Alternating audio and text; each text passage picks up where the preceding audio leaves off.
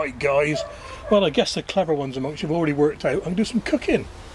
And what am I going to be cooking? Well, oh, oh that's heavy. Oh, ready?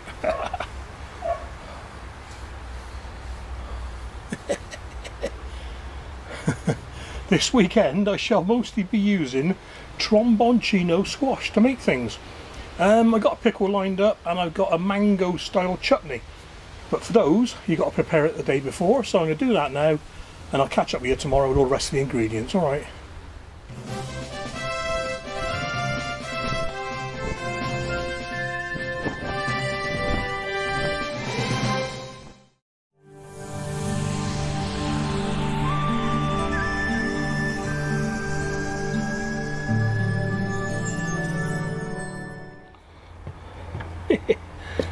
whopper this, isn't it?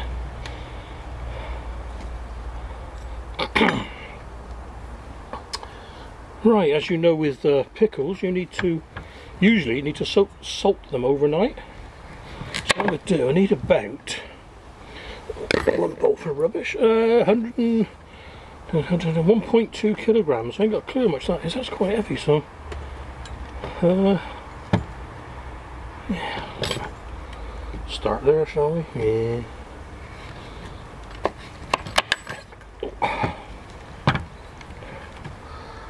Can rest there a minute, mate. Have you in a minute.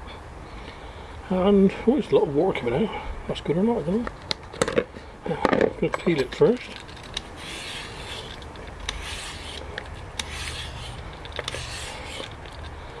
Might be quicker peeling it with a knife, okay.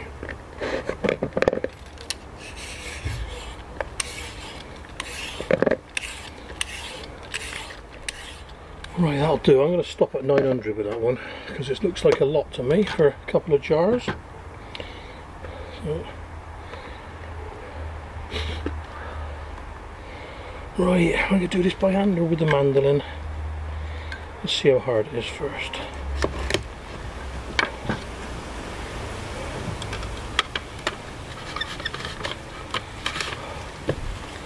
Ah, never mind, I'll do it like that.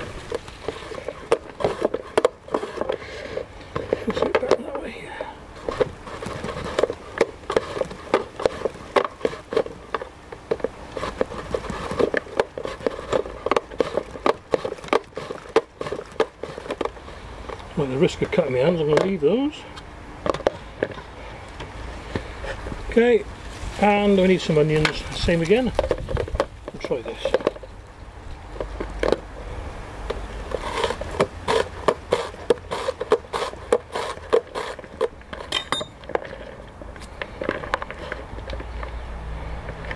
Okay, and you've seen me do this loads of times before. Just sprinkle some uh, just salt over it and overnight the moisture, the excess water will come out of all this lot and it'll be ready for pickling tomorrow. Keep knocking things on the floor eh?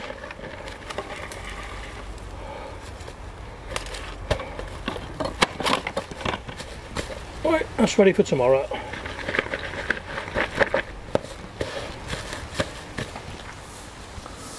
Okay then guys, here we are, following day. The uh, and onions etc have release their water overnight as you can see there. So I'm going to rinse these and rinse them and rinse them and rinse them again and then strain them. And they'll be going in the uh, in the pan. With this lot here let's sit down. Got three cups of um, apple cider vinegar two tablespoons of mustard. I put these here so I remember which to use. Two tablespoons of mustard two teaspoons of my turmeric. Are missing there if you notice and one tea teaspoon of ground cinnamon and three cups of sugar. Granulated sugar will do doesn't really matter. So what we're doing? All this lot at the bottom here. Will be going in there. Uh, dissolve the sugar bring it to a quick boil then add the uh, squash and onions and uh, jar them up.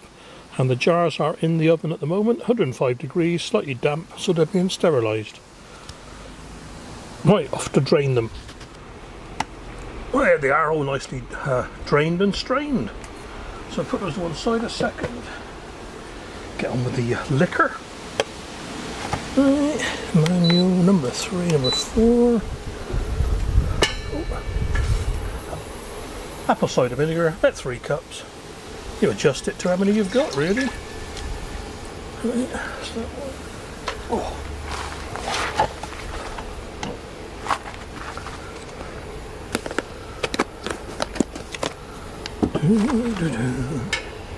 Right, so three cups of sugar. Have we got enough in there?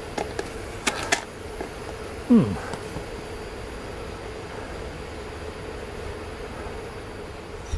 Two, two tablespoons of mustard seeds.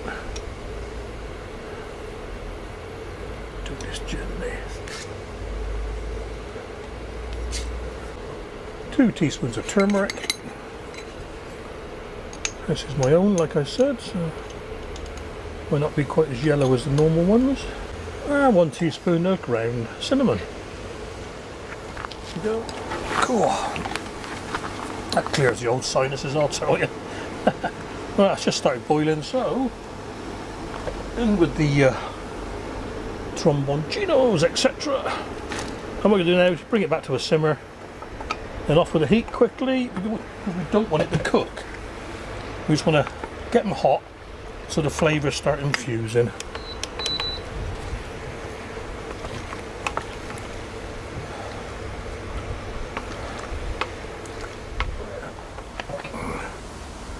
Okay then, so let's turn you around just a fraction. Oh, oh, oh. So, sterilised jars. i Don't think I'll need more than two, I'm not sure. I'll put on a tea towel because I don't want to uh, make a, too much of a mess and I'm not going to use my um, funnel because these things won't fit through the hole in the funnel.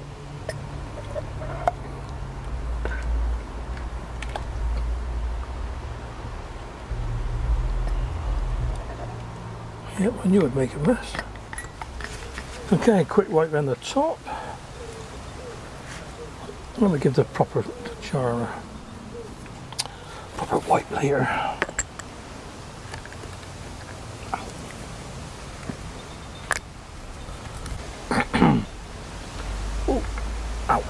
Two jars of pickled tromboncino. Or is it tromboncino pickle?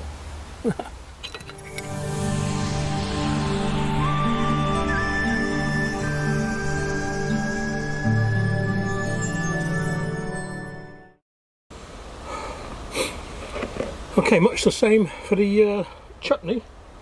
Mango style chutney, about chutney, about the same weight, so a little bit less perhaps, but that'll do. And as you know, with the tromboncino, all the seeds are in the bulbous end, so you haven't got to de-seed anything, look, brilliant. Well, this one we need like chutney sized chunks, so a little bit more awkward. So,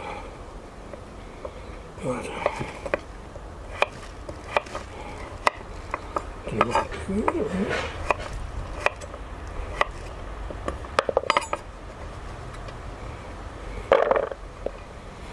it's got to be a better way of doing this.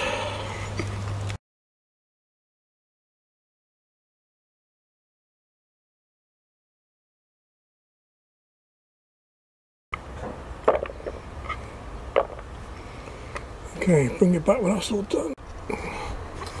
Alright, well that's that all chopped up then. Right, so what we need now, teaspoon of salt, I've got some uh, Himalayan type stuff here, and four or five um, cardamom pods. So I'll put those all in there, keep them out of the way. So I'll get I'll get the seeds out of the cardamom pods, make the crushing it, make it easier.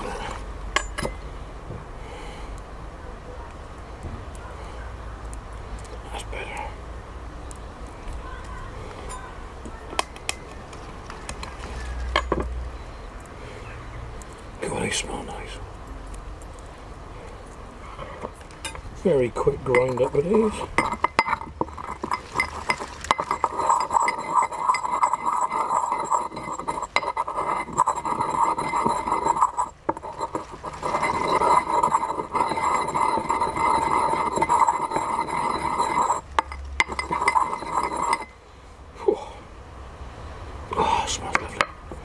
Ah, over the top with that.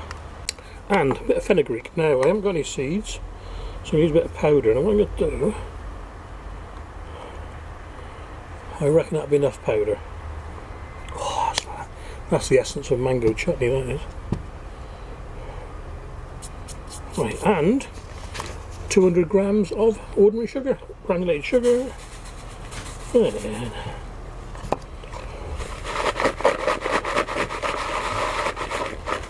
And again leave that till tomorrow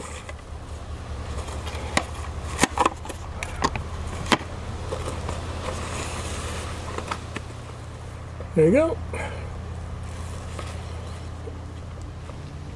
And here we are next day. The tromboncino, cardamom, a um, little bit of salt and the sugar is all liquefied overnight. So that's going in. And the rest of the stuff we have. Oh here we go. Um, well, that's sort of large cooking apple, a couple of cloves of garlic, a knob of ginger, 100ml of white vinegar, um, lime juice, juice of one lime, a teaspoon of mustard seeds, teaspoon of nigella seeds, a little bit of turmeric, turmeric, I got that wrong again, turmeric, I'm using, I'm not using my own this time, I'm using the um, one I got from a, an Indian shop, believe it or not. Um, yeah, one I got from an Indian shop because I want it to stay bright yellow, I don't want it red. And a little bit of uh, chili powder to taste. Right, so I say we need the juice from one lime. So how much juice is in one lime? Google, how much juice is in one lime? According to Produce Converter, we found that on average, one lime has two tablespoons of lime juice in it. Put a and then two tablespoons of lime juice. I never knew that. Learn something every day. Okay, that's all we've done. Peeled, cored the apple and just chopped it into small chunks. A little bit of uh, water in a pan and we're going to boil it down until it's nice and uh, nice and fluffy as they say. Okay then, while that's uh, cooking away, let's turn it down a little bit, it's going too fast. Going to uh, peel and slice the garlic. That's a nice easy one. Wish they were all like that.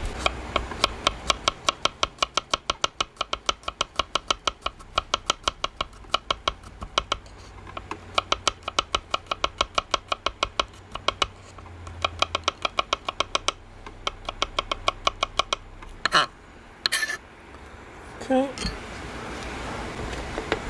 and I'm going to grate the uh, ginger. Let's get the skin off as usual. Oh, I'm spreading my face out.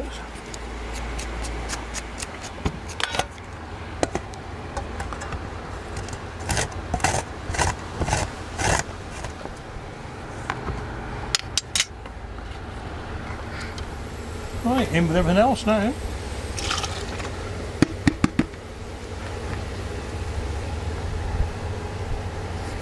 Let's get the ginger out of the way. Two tablespoons of lime juice, which I now know is one lime. Let's get the apples in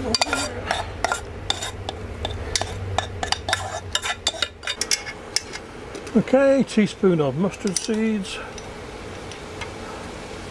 teaspoon of nigella seeds, Oh, rough. It's all rough. Half a teaspoon of turmeric.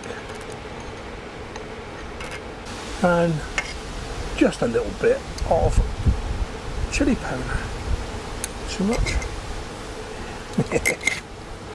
what we do now is get it boiling and then simmer for about 40, 45 minutes. Gosh, I'll tell you what, I wish they'd invent smell-o-vision. Smells lovely. Cool.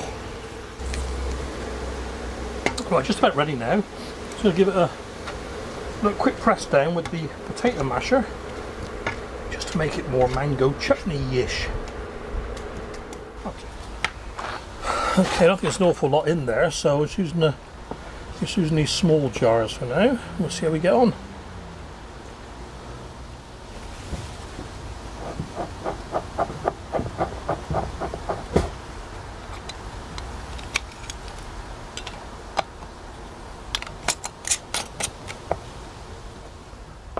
Well, there we go then.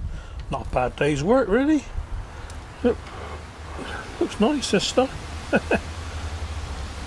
I've tasted the uh, chutney already. It is, uh, it's not far off mango chutney. Nice. Yep.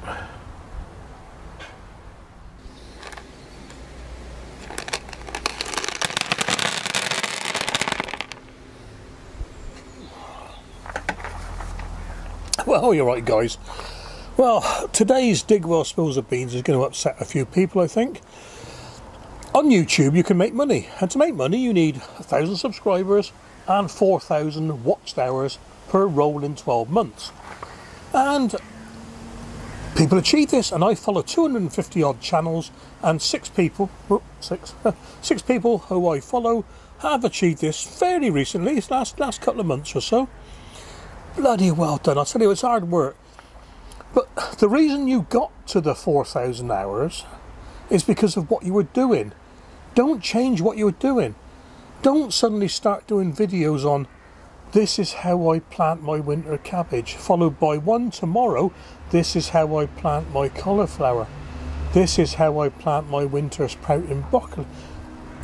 We didn't watch you for that. We didn't subscribe to you to watch that sort of stuff. We watched you we subscribed to you because you were you were for want of a better word spouting good stuff you know? I've unsubscribed to two people so far. They were you know, they've gone mad. They've gone stupid. There's videos every other day. I can't keep up with it especially now there's no email notifications. And two other channels now they've they've had to do it your way hang on they've gone up and up and up and up and they've plateaued because there are no new people looking at how you plant winter cabbage and how you plant broccoli and how you plant cauliflower. And now they are gone, they've gone back to their grassroots and they're doing it properly again. So, what I'm trying to say, guys, is just stick with what you've been doing to get there. Don't forget where you came from, you know what I mean? uh, as, my, uh, as my subscribers gone down.